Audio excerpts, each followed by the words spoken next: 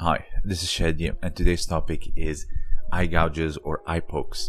Um, in today's world, with all the rules, uh, ethics, it's not something that we learn or train. So, uh, a lot of people think that eye gouges belong to the, you know, fake martial arts world uh, because nobody thinks of them as being a part of a system similar to your positions like side control, back mount a grip fighting dominant a grip fighting and then from there you apply either a submission or a throw. Uh, the same thing with uh, i'm sure the guards of striking with karate boxing etc but in the old days you know the same men that did these submissions and throws also did these uh, eye pokes. So let's take a look at uh, toshiro sensei from bujinkan. Um, here he's blocking very similar to a karate uh, type of uh, sequence where you block and you strike where there is uh, I'd say a void but he is flaring his fingers open. He is uh, striking the eyes the throat or the inside of the mouth or any type of soft tissue in the face uh, and from there he gets uh, the KO so similarly where you get like a, an uppercut or uh, a jab or an open palm strike to uh, the face or the bottom of the nose, this is where you attack uh, something like the eyes. So, I guess what I'm trying to say is um, the same logic that we would apply otherwise to your, you know, striking or grappling is the same that would be applied to these types of dangerous techniques.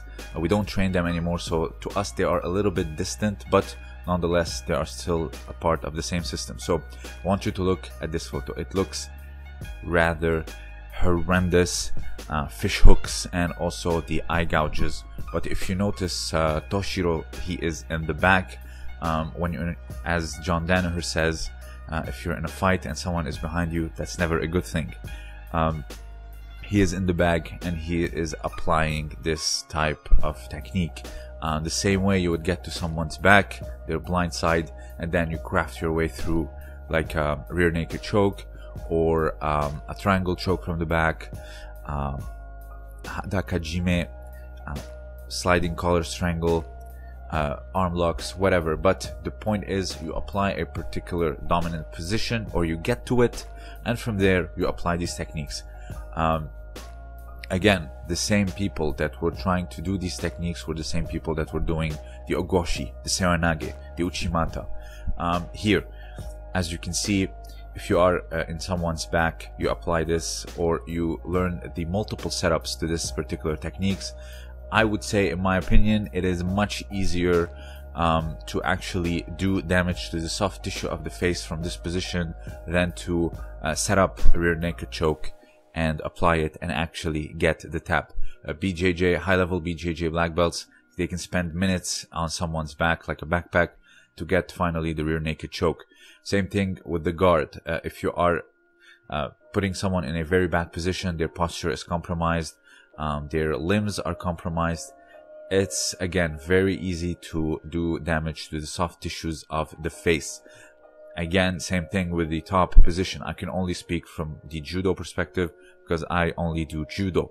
Same thing. You apply this dominant position or you get to it and from there you can get to the face. So to say that you either know judo or BJJ like Bas Rutten and Joe Rogan do, uh, or you know like hocus pocus uh, biting and eye gouging, it's not true. It used to be the same part of the same system let's go to the octagon and see how they can be incredibly dangerous and incredibly uh, vicious these types of uh, attacks whether they're intentional or not. Here from this dominant position or from the striking you can get to the eyes.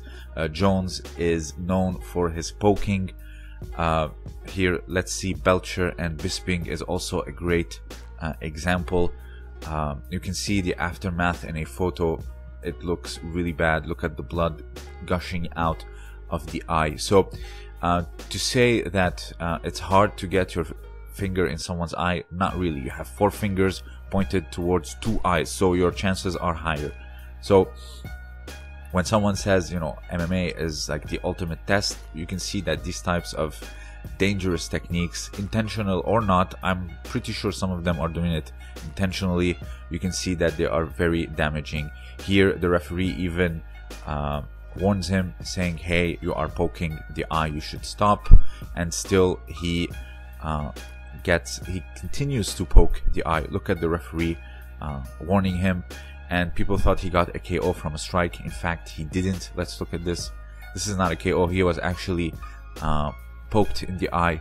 The uppercut actually missed, and people thought that he uh, KO'd him. Let's see it in slow motion again. There was even an appeal after this match that it was an eye poke. Look, he pokes the eye viciously, turns away. He missed with the uppercut, and people thought it was the KO. Johnson appealed it. Let's take a look at Ronda Rousey's husband, Travis. Also, same thing with the thumb.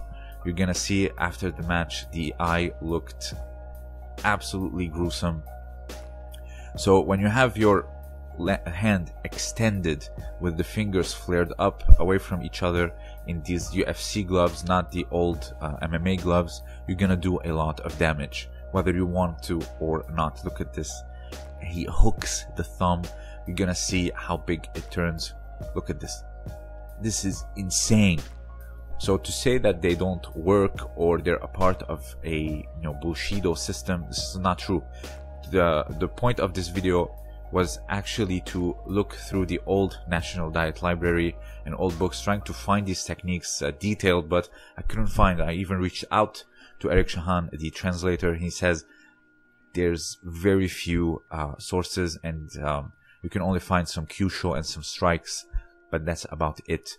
But the point of this, so I changed originally the, the idea of the video to show you that they work, not only they work, but they were a part of this system that we use today, whether to set up a submission or a throw or a strike, but to attack the soft tissues of uh, the face. So to say that uh, you either do BJJ or MMA or you are in the current of the people that uh, do the breathing uh, type KOs and the death touch and the eye pokes. This is not true. I understand that there's some type of revolt against fake martial arts and a lot of the people that open up uh, schools where they like exhale and you see a domino of uh, guys falling down. I understand that and of course they should be stopped and they should be challenged so people would know the truth. But to say that eye gouges or uh, these types of dangerous techniques on the groin, the Kyusho, etc. are a part of them, I totally disagree because the point of this video, I'll say it for the last time, the same guys that were doing Uchimata, Seoinage, Juji Gatame, the rear naked chokes in the old Jiu-Jitsu books from the Meiji era were the same guys that were doing these eye gouges that you even see in the octagon. If you have anything else to add, let me know down below. This was Chadi, and thank you for listening.